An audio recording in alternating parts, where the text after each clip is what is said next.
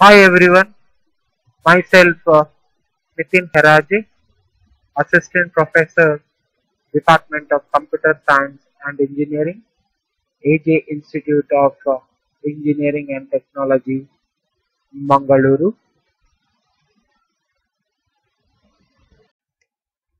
In this uh, video, uh, I'm going to discuss about a lab program 6 of computer graphics laboratory.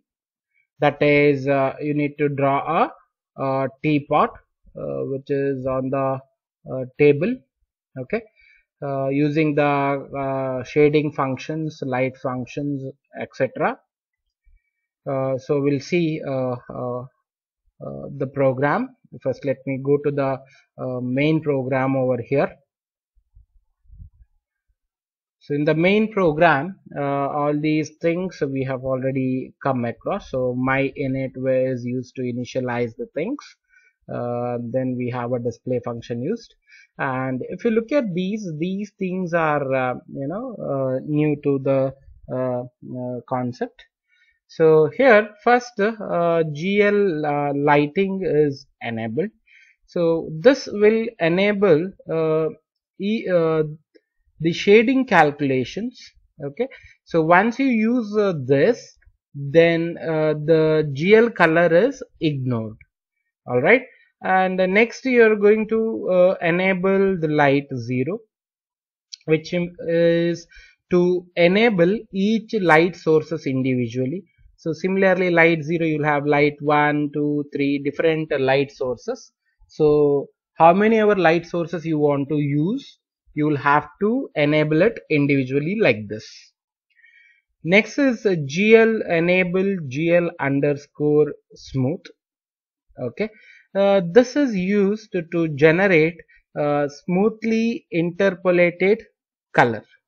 That is you will be using uh, you know shading uh, kind of uh, effects. So it spreads uh, the colors smoothly.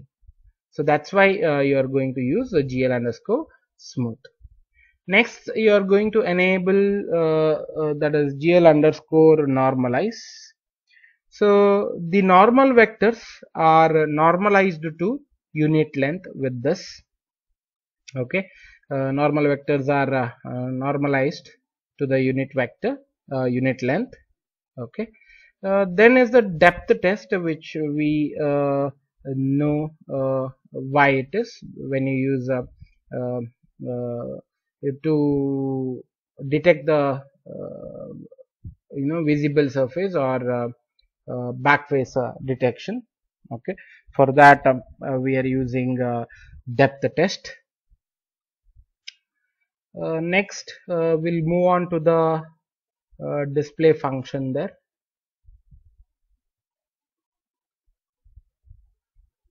If you look at this display function you can see uh, few variables over here initialized with the some values right? So these values are nothing but uh, translating points. So we'll see what are these okay? So these are used for translating uh, points. Then uh, GLU lookat uh, is used where uh, you fix the viewer so the first three parameters gives you the uh, position of the camera or the viewer or where the eye is uh, located in xyz coordinate. And the next three parameters will uh, give you where exactly uh, the camera is looking at. So that is called as at positions. Uh, so this now it's uh, focusing on the origin okay? And these three uh, gives you the up vector value. So the up vector that is why you have it as 1 after which you are going to call the light function. So we'll see uh, what is there in the uh, light function. So this is the light function. Uh, you have used uh, the ambient uh, uh, you have used the four parameters or the four values.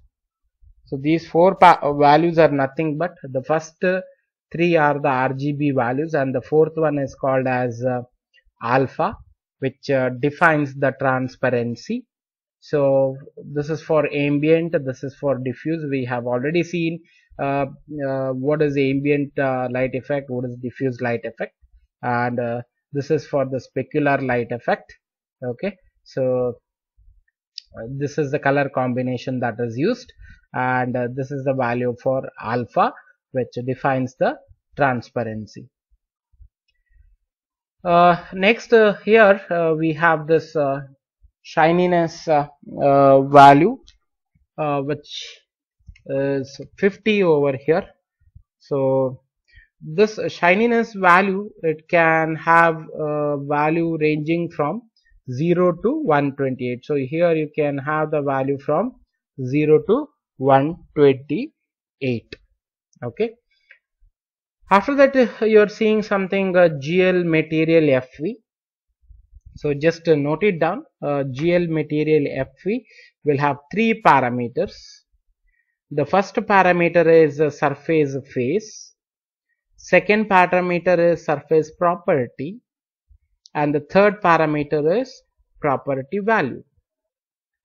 So uh, the first parameter is surface face. So it says GL front. You can have GL front, GL back or GL front and back GL ambient uh, that is the second property which is nothing but the surface property which says what kind of surface it is. So this is a, an ambient surface. And this is the uh, value for the property. That is the value for the ambient uh, light material. Okay. Uh, similarly you have these things uh, for diffuse for specular and shininess. So after that uh, uh, you are going to have a light position at these things.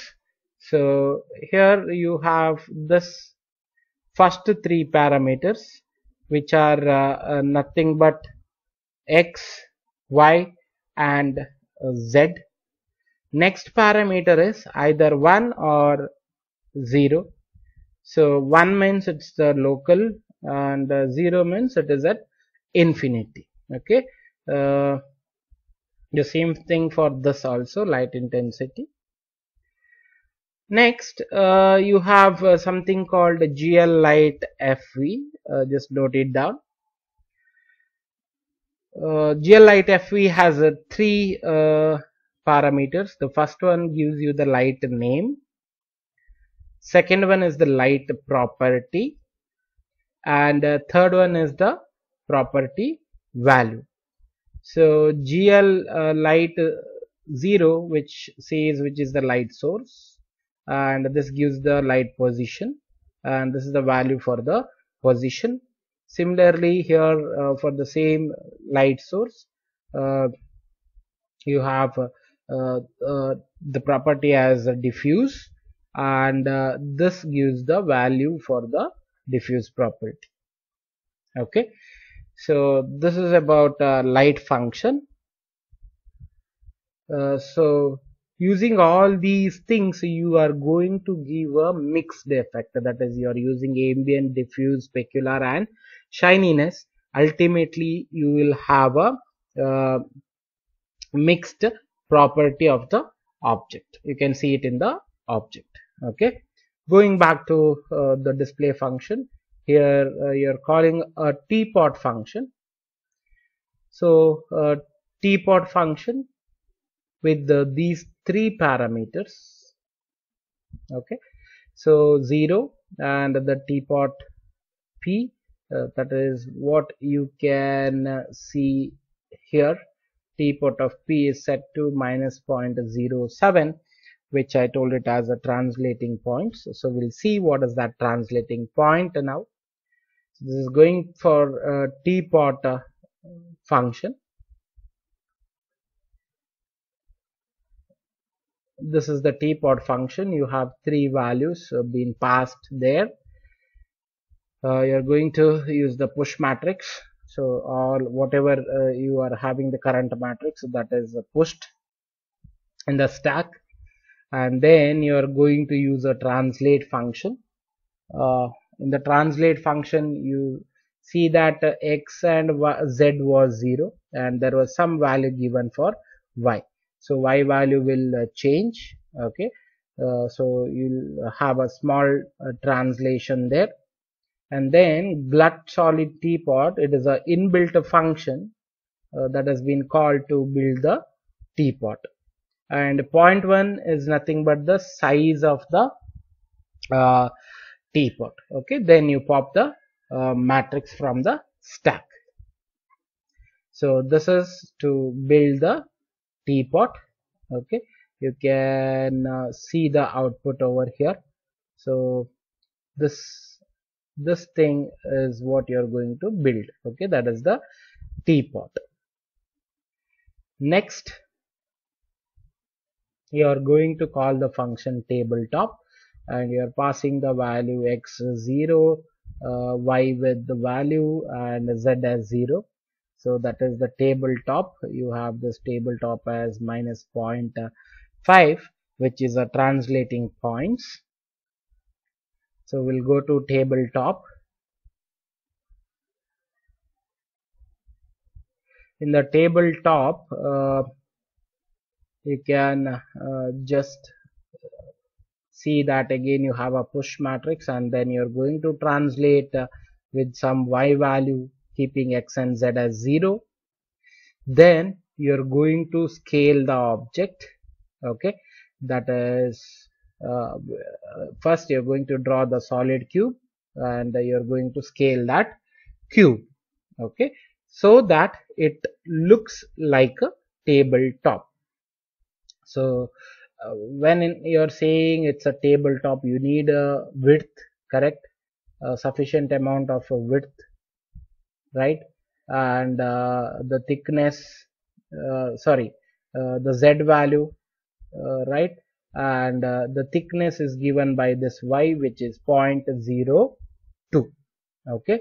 So this actually gives you horizontal thing that is C. This is point 0.6 from uh, this point to this point it is 0.6 and this point to this point it is 0.5 which is nothing but the value of a z.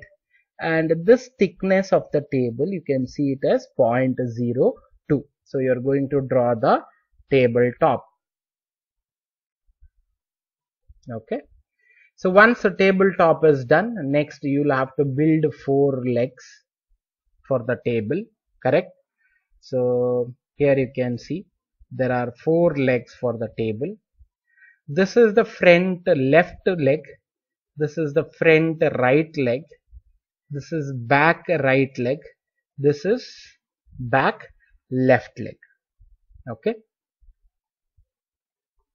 Just make a note uh, so this one uh, is for uh, front right leg. Okay. This is for front left leg. Correct? So you can see that uh, the x value is uh, positive. Z value is positive. Uh, so when the z value is positive uh, which means that uh, it's in the front. If z value is negative which means it is behind. If x value is positive which means it is right side. If x value is negative which means it is left side. So here this is uh, you know front right front left back left back right. Okay? So these are the four legs uh, that you are going to draw. Uh, you are given with the table leg value of 0.2 and uh, this is uh, minus 0.3 for the y. So we'll see what happens in table leg this is the table leg uh, function. So push matrix you are going to translate uh, that is translate with x and uh, y value and also z value. Okay then you are going to scale. So scale what? You are going to scale the cube. This gives 1.0 is the size of the cube and now we are going to scale this cube. How we are going to scale? When it is leg you need uh, um, x value uh, which uh, gives you the width as x. Uh, it should be less because it is a leg. And y should be more because the length should be more. And the thickness of the leg is less again. So that is uh, 0.02 so this will create you the table leg and then pop the matrix next one is about the wall. Okay. We are going to call the wall function with xy uh, as 0 and the z value is minus wall p. That is wall p value of given it as 0.5 okay. You're going to call the wall function. So this is the wall function.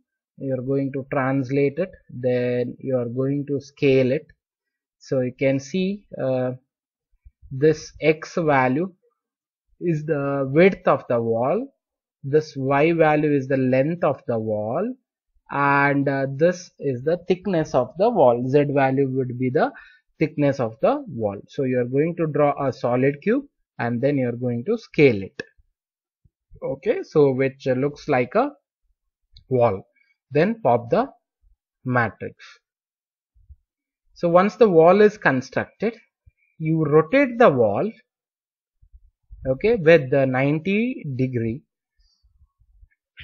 And uh,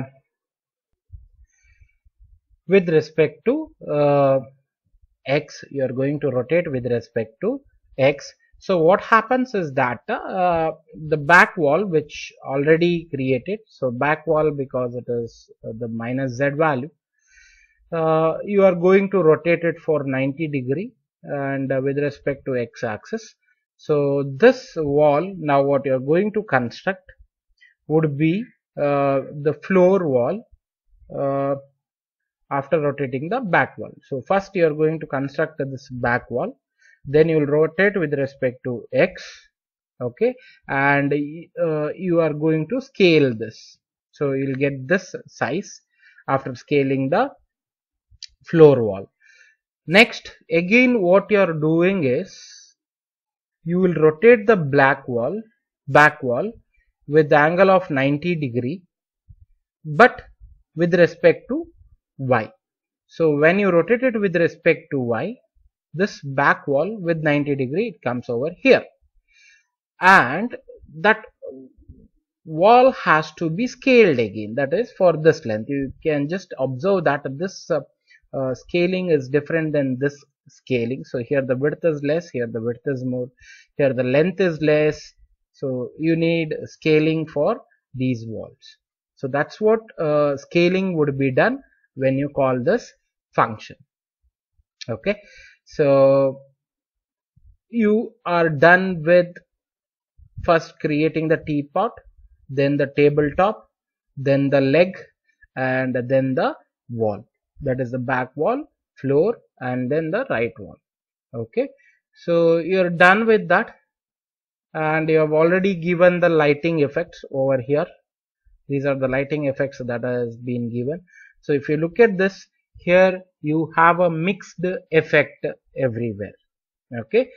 Uh, there is no specific uh, anywhere. It's given with the mixed effect so this is about uh, the teapot uh, program. Okay. So go uh, with step by step.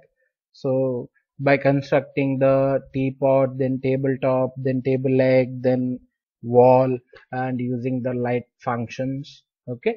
So go step by step. Uh, it would be uh, much easier. All right. Uh, hope you understood this so yeah this is uh, about teapot program.